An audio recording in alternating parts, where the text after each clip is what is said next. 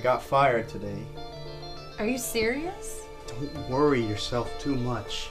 Everything is gonna be alright. Foreclosure notice.